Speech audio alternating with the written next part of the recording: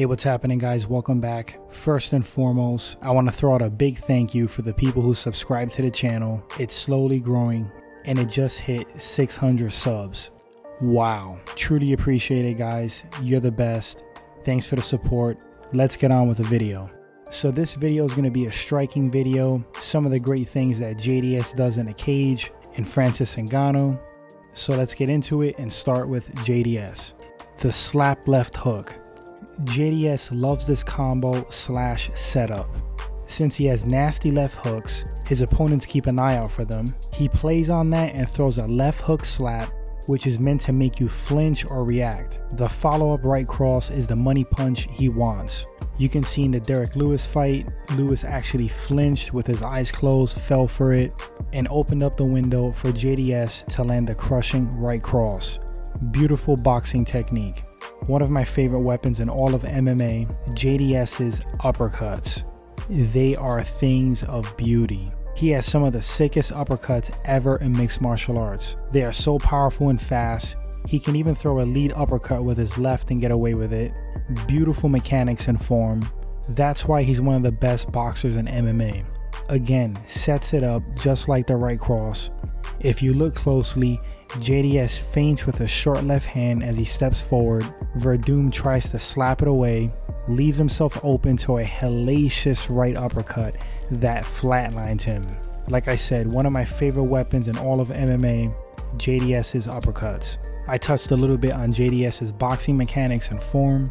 A lot of guys punch with their arms, they're really powerful, but their mechanics are off, they're not fluid, they don't use their body or core, no legs in their strikes, Look how JDS uses the right hand momentum to recoil back with a hard left hook on Gilbert Yvel. He shifts his weight so well, flows and uses the energy from the previous strike to propel into the next one. This is great boxing technique and flow. Again, some of the best boxing ever in the sport. Here's JDS with the solid basics and fundamentals again.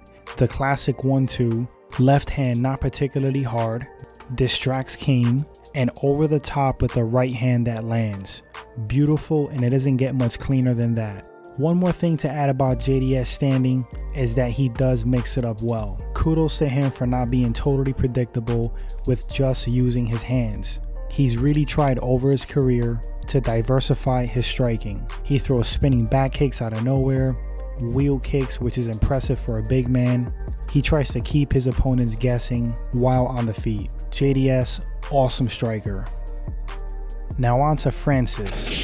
This is an obvious huge weapon in Ngannou striking, his freakish power. We all know he broke that world record, I believe, at the UFC Performance Institute. Whether that's valid or not, who knows, but for sure he has some of the hardest punching we have ever seen in the sport. He hits so hard that when he fought Arlovsky, punching kind of wild winging it, clips Arlovsky with a punch while he was stepping back, it still sent Arlovsky flying and crashing to the mat. Insane power. That short uppercut he caught Cain with as well.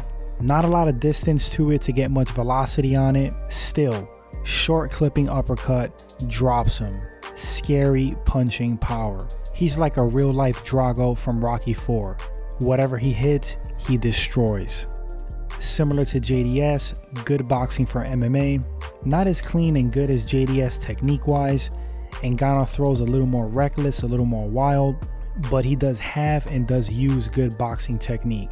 You can see here the classic 1-2, what all good strikers do, combos, feints, and setups for the second and third blow to connect. I feel like some things with Ngannou are a little bit overlooked striking wise, because his scary power overshadows some of his other skills and attributes.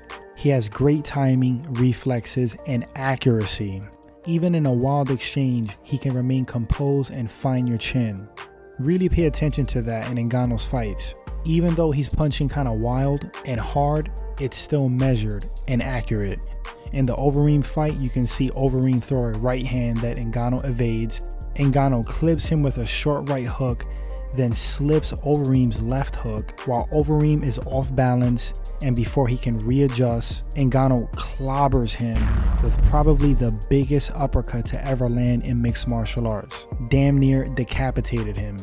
Closing thoughts on the striking battle in this fight and how they match up. Some may disagree with some of my views on these two guys standing, and that's okay, but I think JDS is the cleaner and more technical striker, while Ngannou has more raw power. They strike very similar, however, in many ways with their hands.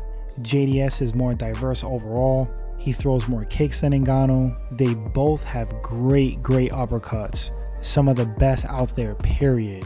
Their hooks are lethal and powerful, crisp, sharp. They both really utilize true boxing technique in the cage. JDS more so as I stated in my opinion. This is going to be a great striking treat for the fans. I don't think these guys are going to take it to the ground. I did make a prediction and breakdown video in the breakdown playlist. I'm not going to make a pick in this video, but if you wanted to check out my pick for the fight, you can watch that video and I'll link it in the comment section. Guys, once again, truly appreciate the support, the likes, the subs, the shares. Really excited for this fight. I know you are too. And until the next segment, take care.